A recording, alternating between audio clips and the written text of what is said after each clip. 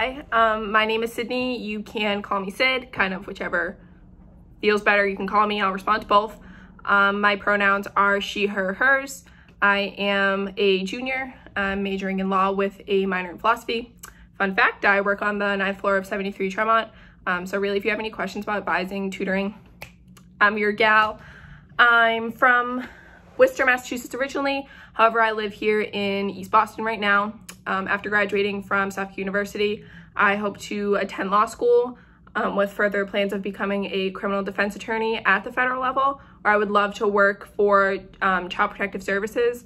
One of the two I'd be more than happy being in.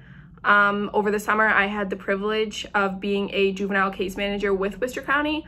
Um, and then through my experience with Worcester County, I was able to land an internship with Kevin Seaver, who is the defense attorney for Department of Children and Families. And so I'm really proud and really excited to have the opportunity to be able to do that, especially during pandemic. I still had the opportunity to work in Worcester, um, meet the kids, be able to attend court hearings, um, and really making sure that they had the accessibility and resources to be able to succeed um, over the summer and whatever they ended up doing.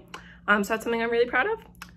Um, I really look forward to meeting everyone, despite it being Zoom University. Um, I'm really optimistic that this semester will be great. So thanks.